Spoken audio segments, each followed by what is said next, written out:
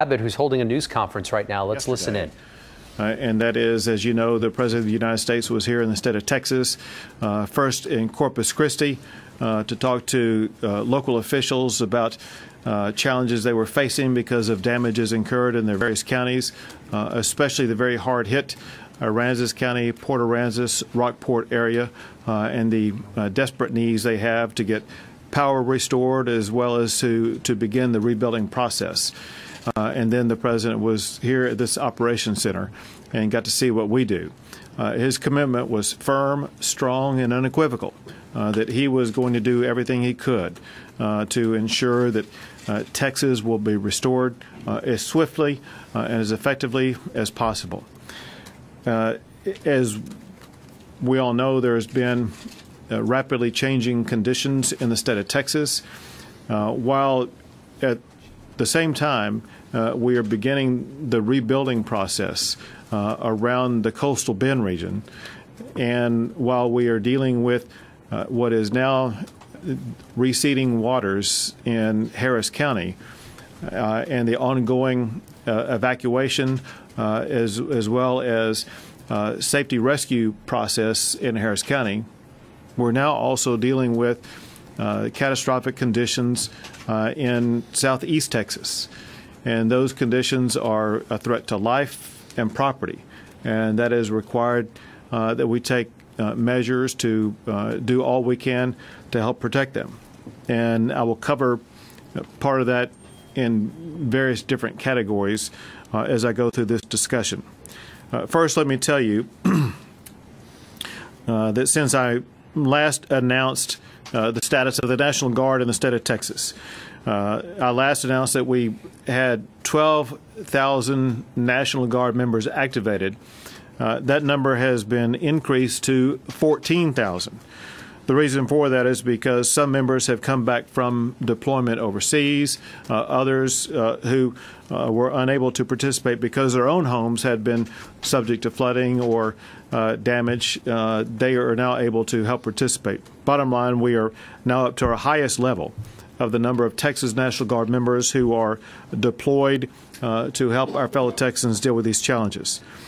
we are also, as we speak, coordinating with the National Guard Bureau to deploy an additional 10,000 National Guard who are being uh, deployed here from other states.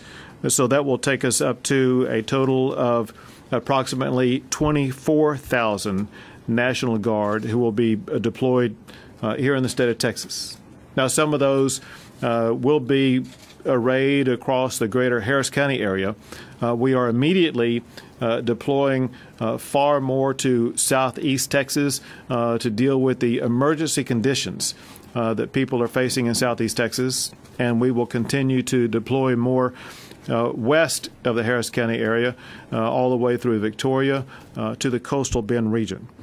we are also getting immediately 200 boats and 200 vehicles from the Department of Defense uh, to be assigned where needed.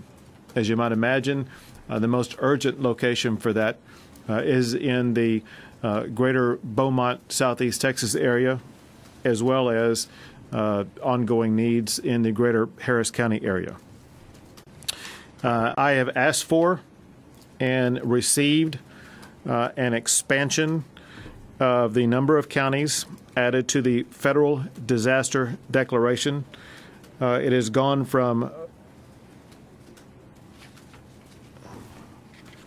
that's the increase is, is, is gone is now the total is 33 counties uh, are part of the federal disaster declaration. We've added 14 counties, and I want to list these counties so that people in these counties will understand that by being included in this federal disaster declaration, individuals as well as local governments are going to be eligible uh, to receive aid from FEMA. Uh, first, I'm going to list 11 counties uh, that are uh, have a what I call a complete federal disaster declaration, which includes both individual assistance as well as public assistance. These new counties include Colorado County, Fayette County, Hardin County, Jasper County, Jefferson County, Montgomery County, Newton County, Orange County, Sabine County, San Jacinto County, and Waller County. There are four counties added to the federal disaster declaration where public assistance is available, but individual assistance is not. The reason for that is these four counties were not uh, the, the subject of disasters uh, in the way that these other counties are, but they are aiding uh, in the uh, support of the disaster. And they include Dallas, Tarrant, Travis, and Bexar County. These are all counties that are providing a tremendous amount of public assistance in dealing with these challenges, such as sheltering evacuees, uh, providing uh, law enforcement and other assistance uh, to these efforts. I want to emphasize something very important that I will come back to several times during my remarks. For the people in these counties I just listed, especially those uh, 11 counties that are going to be receiving individual assistance, uh, you need to write down this website address. It is disasterassistance.gov. Disasterassistance.gov. If you are in uh, one of the counties that's part of the federal disaster declaration, you will be eligible for immediate support from FEMA that you can register to receive at disasterassistance.gov.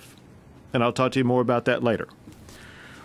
Let me talk to you a little bit about weather, where we are, and where we're going. First, as you know, the rain that was received in the greater Harris County area has set an all time record. Now that rain has moved to the Beaumont region in southeast Texas. Uh, approximately 15 inches of rain have already fallen in the area, and uh, there's more to come. The worst is not yet over for southeast Texas as far as the rain is concerned. Uh, there will be ongoing challenges both during the time that rain continues to fall as well as for approximately four days to a week to come. Let me mention specifically flooding conditions that will continue to be a challenge for people in the area. It includes the Sabine and Neches rivers. There will be record flooding in the lower Neches, and the flooding there may last a week. Uh, major flooding will continue for a few days in the Beaumont region in the lower Brazos River region, where there there could be extensive flooding for about a week, if not longer in the lower Colorado region. Uh, there should be flooding for the rest of the week. Over in Victoria and Cuero, there should be ongoing flooding for a few days. It's important for people in all of these regions, as well as in every county uh, that's affected by storms, that you continue to listen to uh, and heed local warnings about evacuation. Uh, so listen to, heed, and follow evacuation notices. And then, of course, on top of that, always please remember, and that is if there is flooding around your area, do not drive into that flooded area. Many of the lives, if not most of the lives, have been lost in this devastating storm so far are lives that have been lost because of people who were driving vehicles into flooded waters. Do not drive your vehicle into flooded waters. Some information based upon certain categories. Uh, first, uh, uh, the Texas National Guard. Uh, they are active in 25 locations across the state. As I mentioned, we now have 14,000 national state National Guard deployed, uh, with more than 600 vehicles, 500 boats, and 100 helicopters. Uh, they have been doing most recently uh, air rescue missions in the Beaumont region.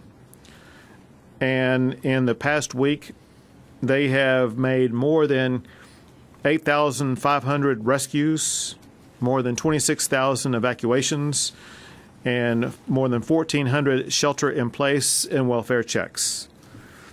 Uh, they will continue in the most immediate uh, time period search and rescue operations and aiding shelter operations across the state. Some information about uh, the PUC uh, and